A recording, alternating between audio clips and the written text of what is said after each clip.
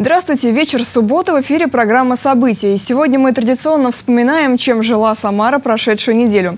В студии Валерия Макарова я и мои коллеги готовы рассказать вам о самом важном и интересном. Московское шоссе преображается на глазах. Полным ходом идет строительство кольцевой развязки с путепроводом тоннельного типа. Из-за этого полностью перекрыли участок Ракитовского шоссе на пересечении с Московским. Впрочем, у автомобилистов выход есть. Обходные пути нашла Марина Матвейшина.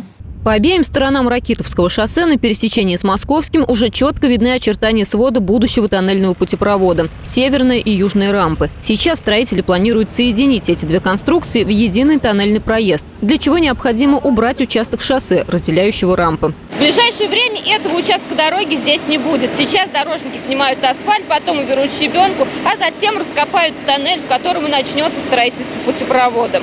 Проезд автотранспорта при таких работах, естественно, исключен. Ракитовское шоссе перекрыли, на подъездных путях и связанных с шоссе дорогах установлены знаки. Строители просят автомобилистов быть внимательнее и заранее продумывать свой маршрут. У нас два пути. Либо повернуть на Волжское шоссе и там по Демократке потом попасть в город. Либо проехать прямо. Все. Ну да, других нету путей. Теперь э, поворота ни с города, ни, ни на выезде из города, ни на въезде из города нету на Ракитовское шоссе. Это надо будет объезжать через Учениновку.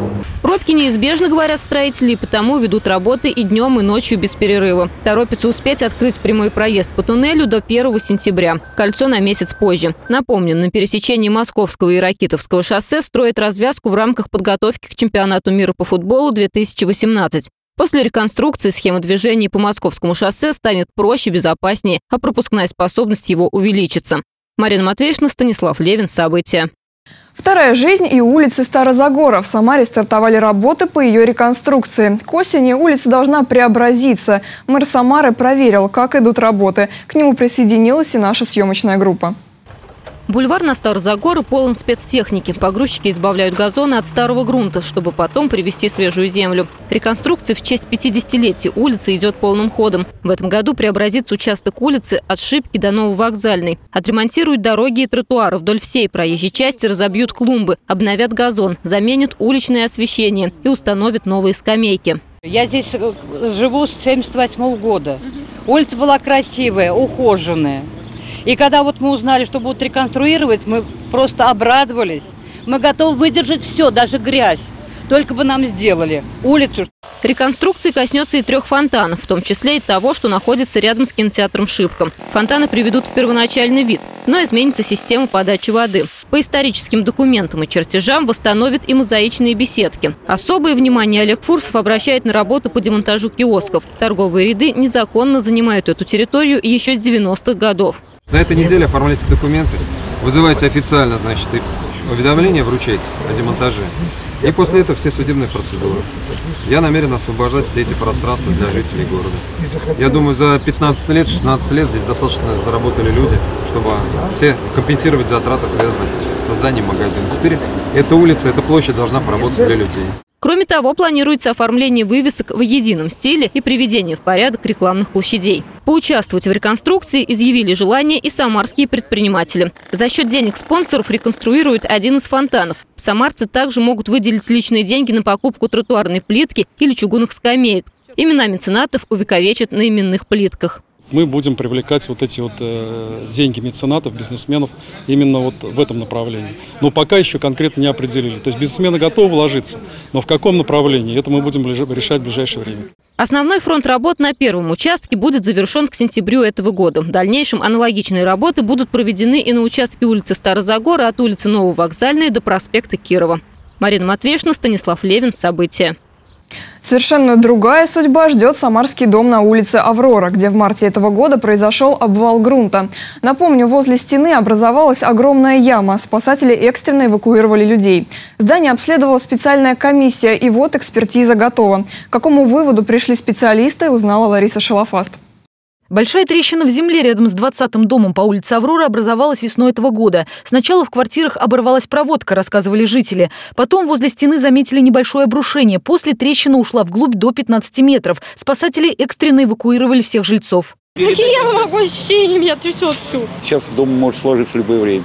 Это страшно. В доме 60-х годов постройки проживают порядка 30 человек. Люди смогли вернуться в свои квартиры в течение месяца. Яму возле дома засыпали за несколько дней. Для этого потребовалось 10 КАМАЗов грунта. Но никаких гарантий, что яма не появится здесь снова нет.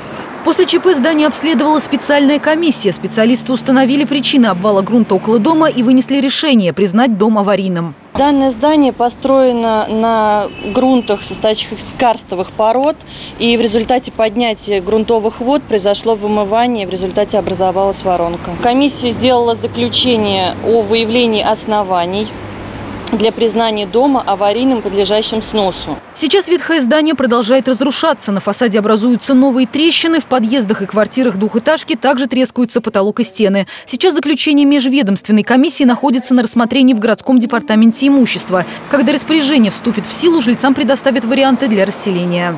Лариса Шлафаст, Константин Головин. События. Телеканал «Самара ГИС» будет следить за темой. Легли на дно ради чистоты и безопасности. Самарские пляжи очищают не только от мусора, но и от лишней растительности. Из-за жары Волга зацвела, и водолазы отправились на ее спасение. На пляже рабочий день провела Марина Кравцова.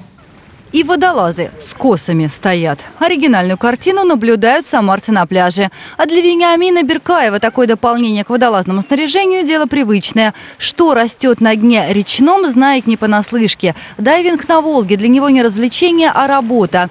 Трудится в связке с напарником. Один косит, другой подстраховывает. На глубине до двух метров на площади до буйков борется с водорослями. Каждые 10 дней водолазы проводят очистку Волжского дна в районе пляжей, убирают скопившийся мусор и косят разросшиеся водоросли, после чего вот эту водную растительность прибивает к берегу, где ее уже подхватывают уборщики. Как говорят водолазы, приходится не только косить, но и убирать. В основном бытовой мусор. Его за раз поднимают со дна около двух кубометров. Но бывают находки и покрупнее, обычно к концу пляжного сезона. Чтобы поднять такое, приходится повозиться. Большие находим скамейки, то есть молодежь, э, видимо, очень веселится и сбрасывает это все в воду. Раздевалки, урны, бочки. То есть. Сколько килограммов водорослей собрали и не считают. Зелень с пляжей вывозят мешками. В жару выходить на покос приходится чаще. Внеплановые погружения совершают и по обращениям любителей пляжного отдыха. Это безопасность людей в первую очередь, так как э, плывет человек, он э, может ногой запутаться, я не знаю, как-то испугаться. Чем жарче, тем быстрее водоросли растут. Соответственно, тем чаще мы косим. От мусора и тины Волгу почистили, а вот сама вода не везде отличается кристальной чистотой. По итогам последней проверки проб воды пока не рекомендовано купаться на пляжах у Ладьи, на спусках улиц Советской армии, Ленинградской и Маяковского. Марина Кравцова, Екатерина Осетрова, Максим Гусев. События. Фальшивый сыр и масло производят на девяти предприятиях Самарской области. Об этом сообщили в региональном Роспотребнадзоре. Почти полтонны некачественных молочных продуктов обнаружили в магазинах. Производителям выписали штрафы на сумму в полтора миллиона рублей. Что находят в образцах сыра и масла? Об этом в нашем следующем репортаже. Сыр тропический, так можно назвать немалую долю молочной продукции на самарских прилавках. Почти везде в составе пальмовое масло. Роспотребнадзор регулярно устраивает проверки. Результаты не радуют. Доля фальсификата на рынке увеличивается. В большинстве случаев это являются производители масла сливочного, сыров и замыкают так тройку. Это молоко сгущенное. Как правило, сыры – это полутвердые сыры, которые пользуются наибольшей популярностью у потребителей, они чаще всего и фальсифицируются. В лаборатории Роспотребнадзора молочные продукты проверяют в несколько этапов. Сначала специалисты определяют жирно-кислотный состав. Например, из масла оно выделяется путем слоения фаз на жировую и нежировую. Из сыра это просто экстракция жира из пробы. И такие продукции, как молоко, сметана, ряженка, кефир ну и другая различная молочная продукция, предварительно мы ее сквашиваем. Результаты проб расшифровывают и направляют в отдел надзора. Там и выясняется, есть ли в сыре то, чего быть не должно. Пальмовое масло, сухое молоко, вредоносные бактерии. Производители некачественных продуктов ждут штрафы, суды и запрет на производство. Покупателям остается угадывать, какого качества окажется купленный продукт. Масло совсем другое, такое, какое было раньше. Намного. Цены ненормальные. для этого качества, конечно, сыры не стоит. Поэтому урезаем поменьше. Я беру дорогой сыр, стараюсь дорогое масло брать, не дешевое. Чтобы не тратить деньги зря, нужно внимательно изучать упаковку, а также список недобросовестных производителей на сайте Роспотребнадзора. Марина Матвеевна, Олеся Корецкая, Максим Гусев. События. С мигалкой в роддом самарские дорожные инспекторы экстренно доставили начавшую рожать женщину в больницу. Всего за полчаса они смогли преодолеть расстояние от мехзавода до улицы Полевой. И успели как раз вовремя. Новорожденного самарца и его счастливых родителей поздравила Марина Матвейшина. Почти 4 килограмма счастья. Новорожденный Рафаэль стал настоящим подарком папе ко дню 80-летия ГАИ. Инспектор Ренат Шарафуддинов и его супруга Лилия в третий раз стали родителями. Надеются, малыша ждет большое будущее. Не успел он родиться, как уже попал в историю, которую еще долго будут пересказывать родственники. Я девушка рискованная просто. Ждала. В принципе, два дня оставалось до родов, но я рискнула ехать в Икею. Прикупить для малыша. Ну, в общем, там, как я и ожидала, начались у меня схватки. Поехала я домой. Ну, почувствовала, что все-таки не доеду, потому что пробка была от Икеи самой, до больницы далеко. Позвонила мужу. Бегал, бегал по дому, думал, как быть, как быть. И звонил каждые пять минут, и туда-сюда, и э, то есть советовался, что делать, узнавал, какие пробки, где. Ну, вот так получилось, что она доехала до поста и довезли на патрульной машине. От мехзавода до 20-го отделения роддома Пироговки полицейские довезли роженицу за полчаса. И мальчик появился на свет под присмотром врачей. Это не единственный случай. Вот на моей памяти уже у нас было, ну, только на моей памяти, два раза, когда обычные женщины останавливались около поста ГАИ, а, обращали к сотрудникам госавтоинспекции за помощью, и они, естественно, с радостью им помогали и никогда не отказывали. И если в служебной инструкции нет такого пункта «доставка женщин в роддом», сотрудники ГАИ говорят, помочь никогда не откажутся. Забота о безопасности людей – это и есть их работа.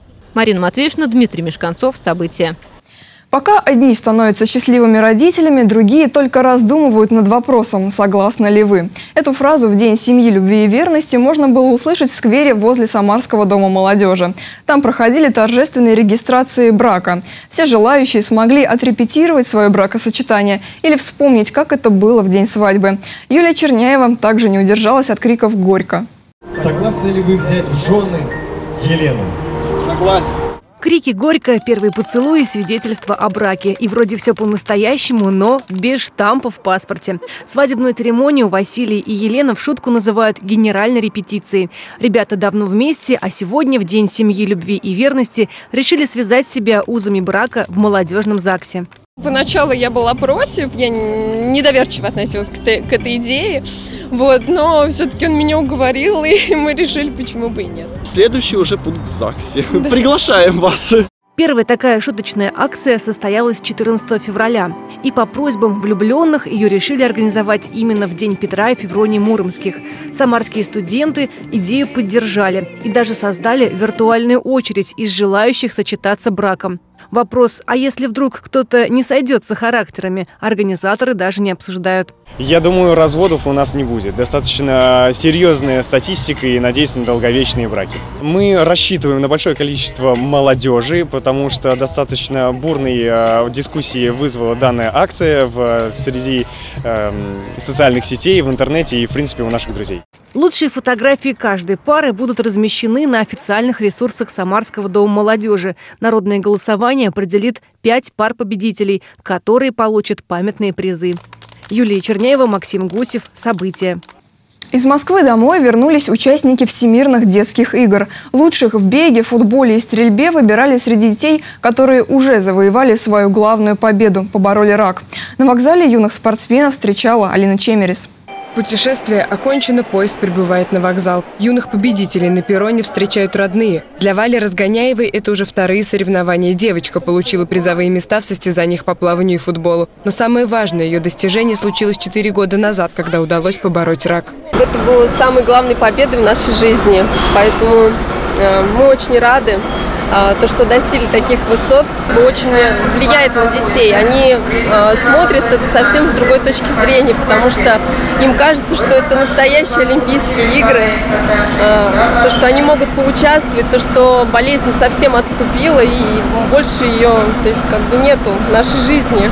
На спортивные соревнования детей, победивших онкологию, участники Самарской области ездят уже пять лет. На этот раз в Москве за звание лучших поборолись 8 человек. Их соперниками стали около 500 ребят из Германии, Румынии, Венгрии в общей сложности из 16 стран мира. Шахматы, стрельба, настольный теннис – всего 6 дисциплин. Юные самарцы участвовали в каждой. Я участвовал в футболе, а еще я участвовал в беге, еще я участвовал в стрельбе. Нагрузки, да, были сложные, но я справился. Я так познакомилась со многими новыми моими друзьями. А, то, что испытала вот это спортивное, спортивное настроение, спортивные всякие эмоции. И, конечно, всякие развлечения на досуге, там, всякий мастер-класс, мне тоже все очень понравилось. Общения это очень много, значит, это праздник для детей – и вот это вот э, подтолкнуть ребенка дальше, показать, что он может. И даже если кто-то и не выиграл на, в этих играх, да, но у него появился стимул. Я знаю, что он будет заниматься, он будет добиваться, и это еще и выздоровление будет. В этом году самарские победители планируют выпустить фотоальбом своих спортивных достижений. Возможно, соревнования для детей, поборовших онкологию, станут проводить и на региональном уровне. Алина Чемерис, Мария Калачева, Артем Сулайманов. События. Променять престижную, но нелюбимую работу на собственный бизнес. Двое молодых самарцев в центре города построили всесезонную теплицу по уникальной технологии. Сейчас в ней 57 кустов клубники. Главный принцип – никакой химии, только натуральный продукт. Садоводы-бизнесмены ставят перед собой амбициозные цели – увеличить плантацию до 500 кустов. О тонкостях садоводства – наш следующий репортаж. Гаражный комплекс в центре Самары. За воротами одного из них Иван Калмыков и Семен Романов занимаются редкой для России технологией – growboxing. Ребята выращивают клубнику в закрытом грунте. Такой метод позволяет собирать урожай круглый год. И при этом никаких химикатов и ускорителей роста, только натуральные удобрения и любовь. Ради этого Иван полгода назад бросил работу в крупной нефтяной компании. Теперь, говорит, даже по утрам просыпаться радостнее. В один прекрасный момент я понял, что как-то я не так живу. Надо пожить и для себя, и заняться любимым делом, свое удовольствие. Думал, думал, тут настала весна, поехал в деревню к родителям в огород, поработал там, красота. Скоро зацветут 57 кустов клубники. Электроника поддерживает температуру, идеальную для растений, чуть выше 25 градусов. Все оборудование – дело рук Семена. По образованию он радиотехник. В его руках обычный бельевой шкаф за 10 дней превратился в бокс с настоящей климатической системой. Разработали устройство вот это вот, которое следит полностью за климатикой. То есть не просто там отдельно за температурой или влажностью, а вообще свет, климат, полив и так далее. То есть оно еще может управлять автополивом, но у нас здесь просто не реализовано, потому что это тестовый бокс. Чтобы заменить этот бокс на оборудование посерьезнее и увеличить плантацию клубники до 500 кустов, ребята собирают средства на краудфандинговой платформе в интернете. Спонсором может стать каждый. Среди вознаграждений варенье и несколько килограммов клубники. Валерия Макарова, Сергей Баскин, Константин Головин. События. В Самару прибыл Волжский арт-экспресс. Открылась передвижная выставка, посвященная культуре калмыкского народа. Уникальная живопись, буддистские сюжеты, яркие краски. Оттуда, где переплетаются искусство и история. Репортаж Алины Чемерис. Такое искусство мало где встретишь. Картины, написанные на свитках. Калмыки – единственный народ в Европе, который исповедует буддизм. И раньше в такой технике мастера изображали только буддистские божества. Писать свое имя на работе было нельзя, и поэтому об авторе напоминал только отпечаток ладошки с обратной стороны. На этом полотне Аюка хан, один из первых ханов калмыцкого народа с тех пор, как калмыки перекочевали на территорию Российской империи. Два раза встречался с Петром Первым, получил от него в награду саблю. Калмыки а, осуществляли защиту южных рубежей России от всевозможных захватчиков. Участвовали практически во всех войнах, которые вели а, вело российское правительство, в том числе и в войне со шведами, в войне с Наполеоном. Э, и калмыцкая конница одной из первых вошла в город Париж. Украшения, картины, различные панно на выставке. Всего около 300 работ. Любимые сюжеты калмыков – история народа. Здесь очень много ярких красок. Особенно преобладают желтые и красные оттенки, цвета степей и солнца. Также много необычных работ.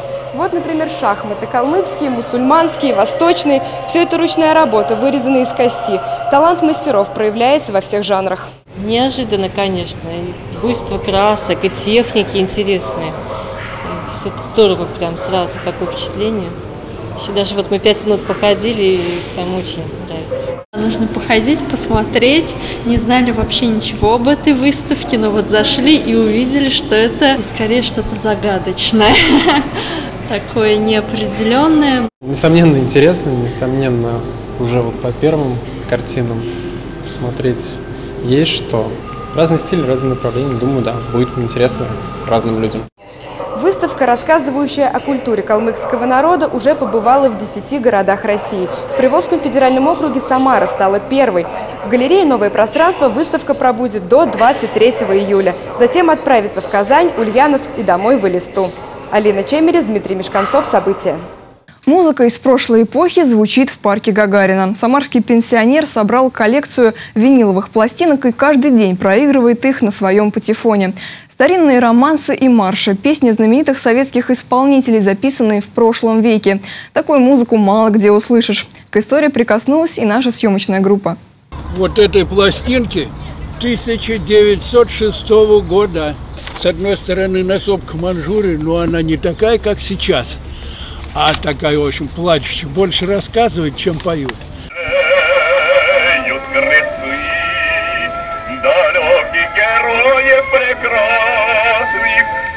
Прошлого тени кружатся вокруг, Твердят нам о жертвах напрасных. Уникальная запись 110-летней давности заставляет прохожих остановиться. На одну и ту же лавочку в парке Гагарина Анатолий Леонидович приходит уже почти год. В арсенале патефон и дюжина пластинок. Всего их у него около сотни, и чтобы порадовать слушателей, каждый раз приносит новые. Песни Руслановой, Утесова, старинные романсы – это будто музыкальный музей под открытым небом. Дарить жителям знаменитые произведения такими, какими их любили наши бабушки и дедушки, мужчина решил после неожиданной находки. У бабушки в сарае сломанный патефон нашел в Оренбургской области, в деревне. Восстановил его. Там куры на нем сидели. Сломанный был. Мне 80, я с 36 -го года. Патефон с 35 на, на год старше, мы с ним почти ровесники. Почистил, поменял пружину и патефон запел как новенький. Пластинки дядя Толя, как его все называют, собрал по соседям. Говорит, десятки записей, не коллекция, инструмент для музыкального путешествия. Вот тем, наверное, я отличаюсь от коллекционеров. Коллекционеры собирают, посадят их на скамейку, сядет на них и всю жизнь будет сидеть. Я, ну, пластинки, если собираю, то только для того, чтобы играть людям. За патефоном, который каждый день слышит весь парк, внимательно ухаживает. Своевременно ремонтирует, меняет иглы. Найти их трудно, да и стоят они дорого. На них и уходят пожертвования слушателей. Станочек сделал сам затачу, но наточить их можно, но ведь угол такой, как заводской, не выдержишь, она портит пластину. А иглы хватает две, максимум три пластинки. Все. У дяди Толи уже появились поклонники.